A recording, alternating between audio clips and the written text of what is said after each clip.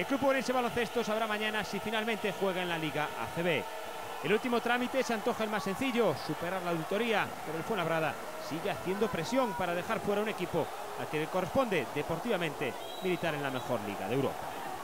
El COP subsanó todos los defectos detectados por el auditor y confirmó que su patrimonio... No. El todos los defectos detectados por el auditor y confirmó que su patrimonio neto será positivo cuando comience la temporada. Ahora está en manos de los clubes de la Liga CB decidir si le corresponde o no la plaza. La votación será mañana a las 11, dentro del primer punto del orden del día en la asamblea de la asociación.